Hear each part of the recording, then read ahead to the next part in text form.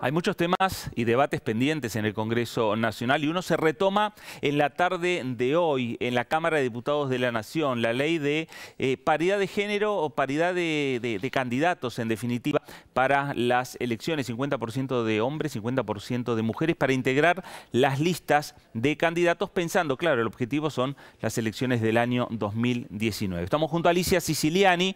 Eh, Alicia, buen día, ¿cómo le va? Buen día, muy bien, gracias. Alicia es eh, la presidenta de bloque del socialismo en la Cámara de Diputados que integra el interbloque progresista. Bueno, ¿avanza o no, o no avanza este proyecto? Bueno, no avanza con la celeridad que nosotras las mujeres quisiéramos, pero está avanzando. Mire, nosotros cuando el, ministro Frigerio convocó a los partidos políticos a la reforma política, eh, fuimos con Hermes Wiener a la reunión a la Casa Rosada y llevamos la propuesta de paridad de género para introducirla en la agenda de la reforma política. Después con Margarita Stolbizer el año pasado la propusimos en la comisión y realmente el consenso que hemos logrado que atraviesa a las mujeres y muchos hombres, porque también hay que decirlo, muchos hombres de diferentes bloques, así que eh, tenemos mucha expectativa que hoy pueda ser eh, dictaminada en la comisión y, ¿por qué no, soñar que mañana la podamos debatir en el recinto? Ya directamente llegar al recinto de la Cámara de Diputados, un proyecto que ya cuenta con la sanción del Senado. Exactamente. Nosotros eh, tenemos mucha ilusión porque creemos que las mujeres en la política, en un sistema de paridad y en un sistema de igualdad, vamos a mejorar la democracia y vamos a mejorar a la sociedad.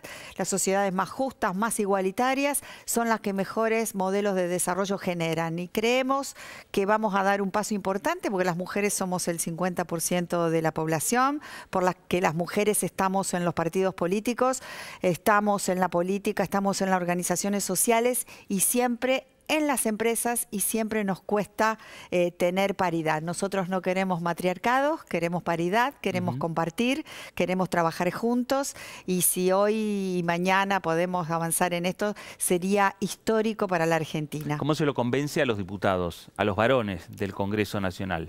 Con mucho diálogo, que nosotras, las mujeres, eh, queremos decir que tenemos una sociedad con muchísimos problemas estructurales, una sociedad que no se soluciona solo con varones o solo con mujeres, ni con un solo partido político. Creo que la sociedad necesita la mirada para esta eh, situación donde tenemos el 60% de los niños menores de 17 años en situación de pobreza, donde tenemos eh, a las mujeres que ganan el 30% menos en iguales trabajos, tenemos trabajo no registrado, tenemos una sociedad con muchos, muchos problemas estructurales. Tenemos narcotráfico, tenemos inseguridad eh, las mujeres en, la política le vamos a aportar una mirada complementaria a la de los hombres y creo que eso va a ser bueno para todos y podemos mirar el futuro con optimismo. Así que eh, eh, nosotros tenemos mucha expectativa en lo que suceda hoy y mañana en el Congreso. Bueno, y esta semana también en el Congreso va a entrar el presupuesto para el año 2018 y ya genera algunas expectativas en los bloques, no solo del oficialismo, sino también de la oposición. Alicia, usted integra la comisión. Yo integro la comisión y como santafesina tenemos una gran expectativa para ver si el presupuesto contempla la deuda que la Nación mantiene con Santa Fe. Nosotros los santafesinos hemos hecho una propuesta al Gobierno Nacional que es una propuesta absolutamente razonable, que no comprometa las finanzas eh, del Estado Nacional eh, y creo que como santafesinos vamos a estar muy expectantes para ver si este proyecto de presupuesto contempla esa deuda y si no, empezar a trabajar y dialogar en el marco de la Cámara y de la Comisión para que los santafesinos veamos plasmado nuestro, nuestro derecho, que nos asiste por eh, la justicia, que nos ha dado la razón. Son aproximadamente 50 mil millones de pesos, que yo siempre lo digo, no es del gobierno actual.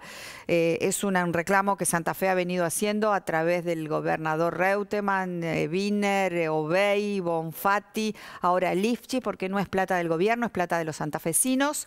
Y bueno, esa es la expectativa que tenemos muy fuerte para el día viernes y obviamente las cosas que siempre discutimos, la obra pública, cómo se distribuye, cómo se financia la salud, cómo se financia la ciencia, la tecnología.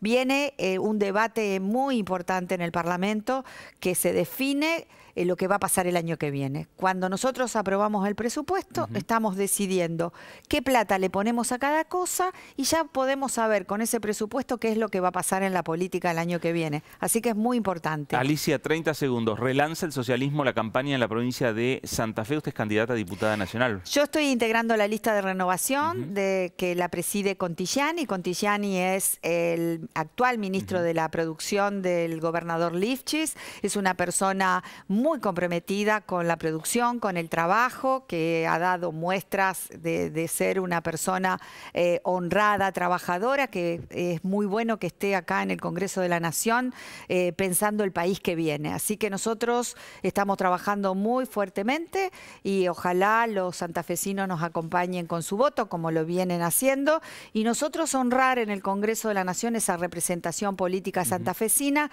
que es representar al federalismo y pensar en una nación más integrada, más justa, solidaria, donde los derechos eh, lo podamos plasmar. Muy bien, Alicia de Siciliani, gracias eh, por estar en la televisión pública. No, gracias a ustedes.